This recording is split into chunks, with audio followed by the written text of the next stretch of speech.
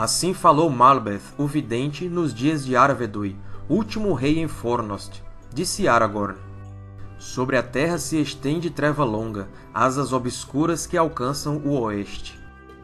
A torre treme nas tumbas dos reis, o destino se adensa, despertam os mortos.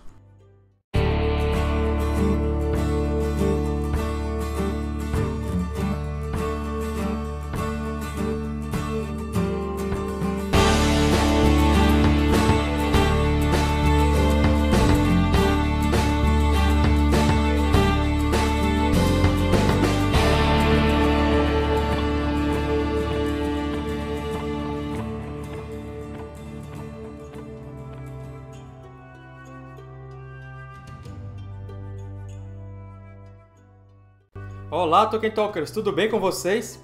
Antes de falarmos sobre Malbeth, o Vidente, já deixa seu like aqui embaixo, deixa sua curtida. Quem está chegando agora ao canal já se inscreve clicando aqui no botãozinho vermelho e depois já aciona o sininho do YouTube para ativar as notificações e ficar sabendo sempre que houver um vídeo novo.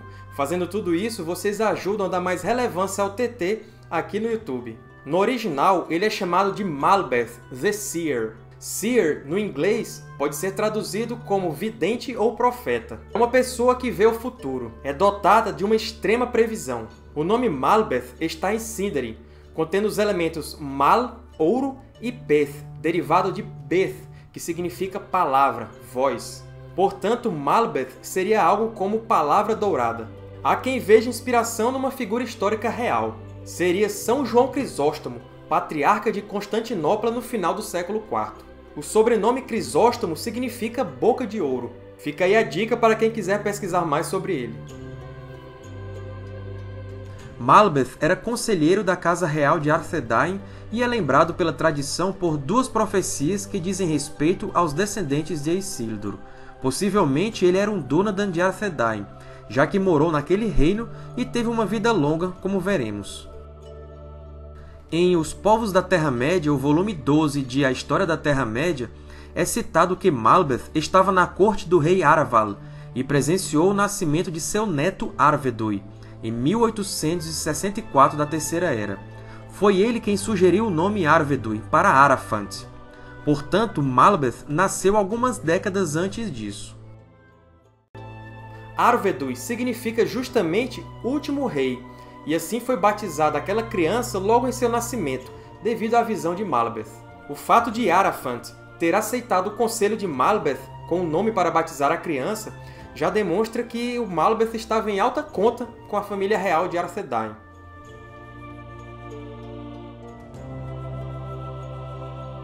Arvedui foi de fato o último rei, como seu nome significa.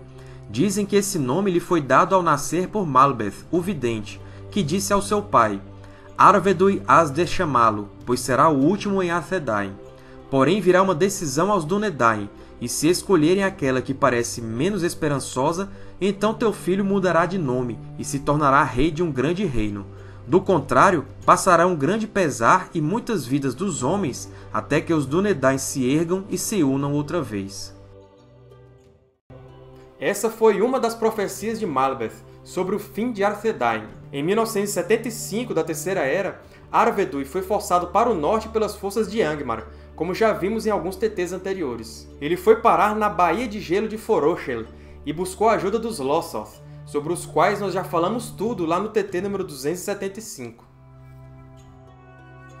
Círdan ouviu o apelo do filho de Arvedui, Aranarth, e enviou um navio para resgatá-lo na primavera daquele ano. Os Homens das Neves advertiram o rei a não embarcar no navio, pois eles sentiam perigo no ar. Sugeriram que o rei esperasse o verão, quando o poder do rei bruxo não era tão forte. Arvedui não deu atenção ao conselho e acabou morrendo quando o navio afundou ao bater no gelo numa tempestade violenta. Assim se cumpriu a profecia de Malbeth. Mas sobre a parte final da profecia, onde ele diz Porém, virá uma decisão aos Dúnedain, e se escolherem aquela que parece menos esperançosa, então teu filho mudará de nome e se tornará rei de um grande reino. Isso aí diz respeito a Gondor.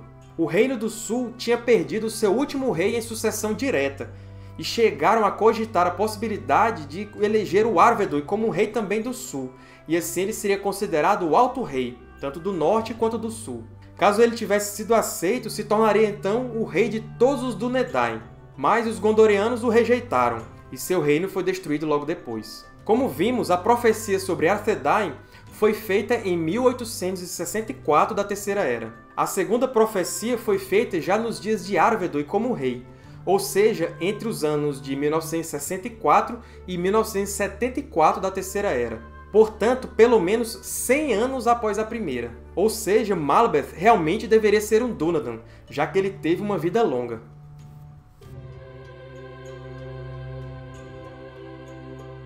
Estas são as palavras que os filhos de Elrond me trazem de seu pai em Valfenda, do mais sábio no saber. Dizei a Aragorn que se lembre das palavras do vidente e das sendas dos mortos. E quais seriam as palavras do vidente? indagou Legolas. Assim falou Malbeth, o vidente, nos dias de Arvedui, último rei em Fornost, disse Aragorn.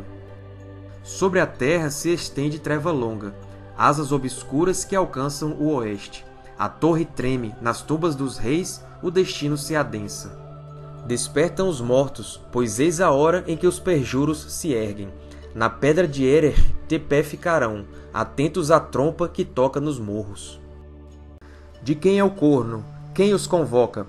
No ocaso gris, a esquecida gente, o herdeiro do fidalgo a quem deram fiança.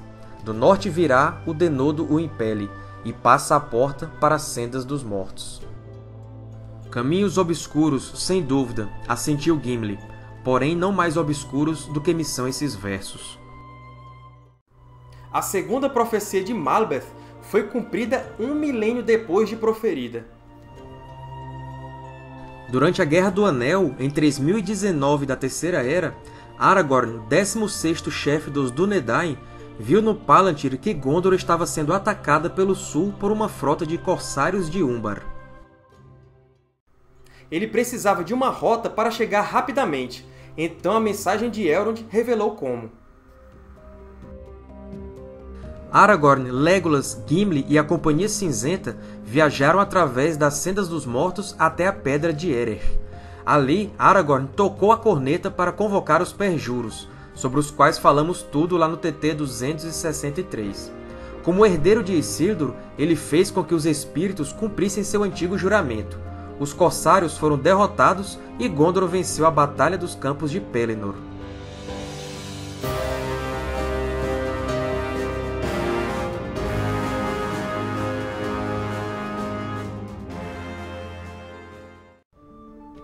Então é isso, pessoal!